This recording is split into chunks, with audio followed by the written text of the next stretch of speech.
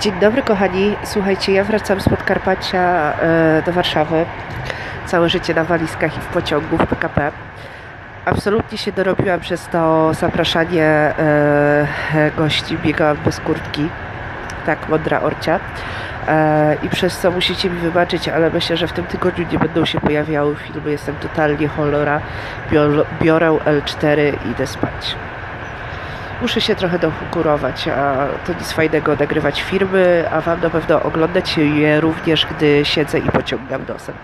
Więc e, do zobaczenia w przyszłym tygodniu, buziaki. E, na razie życzcie mi dużo zdrówka. Pa!